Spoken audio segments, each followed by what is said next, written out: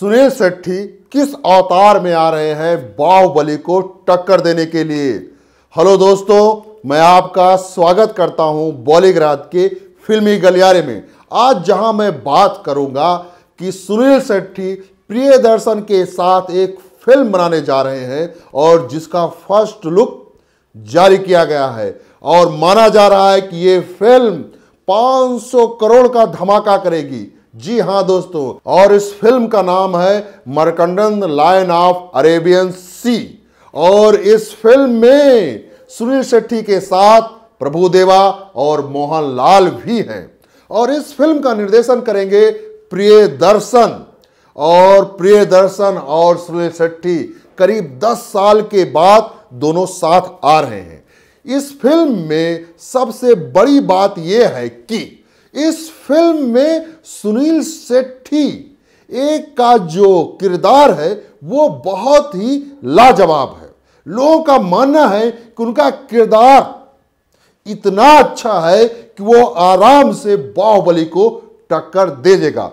क्योंकि जब से उनका फ़र्स्ट लुक जारी हुआ है, वो सोशल मीडिया, इंस्टाग्राम, ट्विटर, हर जगह तहलका मचा रहा है। इस फ़िल्म की कहानी जो है, सोलहवीं शताब्दी के एक समुद्री योद्धा के ऊपर बेस्ड है, जिसकी भूमिका सुनील शेट्टी निभा रहे हैं, जो कि अरब सागर के एक जाबाज योद्धा के रूप में है। और दोस्तों, इस योद्धा का नाम है मरक्कर जिसे अरब सागर का शेर कहा जाता है।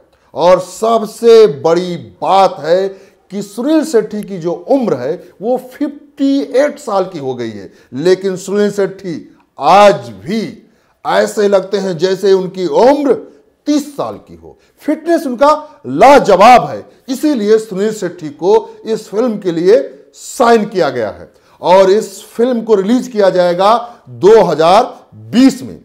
सुनील शेट्टी की और बहुत सारी फ़िल्में हैं। जिन्होंने धमाकेदार बॉक्स ऑफ़िस पर प्रदर्शन किया था। जैसे कि उनकी एक फ़िल्म आई थी, क्रोध। फिर उनकी एक फ़िल्म आई थी, बलवान। और बलवान ये वही फ़िल्म है जिससे सुनील शेट्टी ने फ़िल्म इंडस्ट्री में कदम रखा था और उसके बाद तो उनकी एक फ़िल्म आई, धड़कन।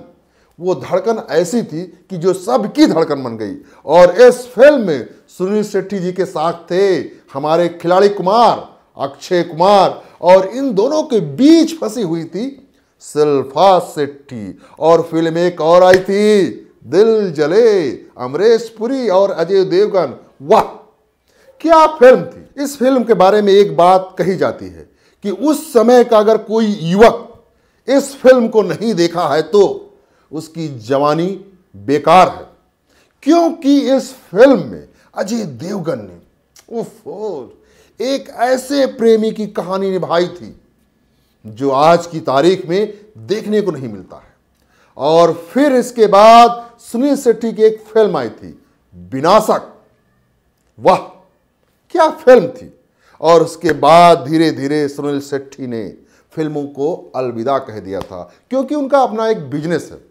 और दोस्तों, मैं आपको यह बताना चाहता हूँ कि जो फ़िल्म बाहुबली को टक्कर देने के लिए आ रही है। उस फ़िल्म को सिर्फ़ हिंदी में नहीं, तमिल, तेलुगु, मलयालम में बनाया जा रहा है और इस फ़िल्म का बजट रखा गया है डेढ़ सौ करोड़ रुपए। और इस फ़िल्म की शूटिंग शुरू होगी अप्रैल में। तो दोस्तों, आप हमें कमेंट करके ये बताइए, क्या ये फ़िल्म बाहुबली टू का रिकॉर्ड तोड़ देगी या नहीं?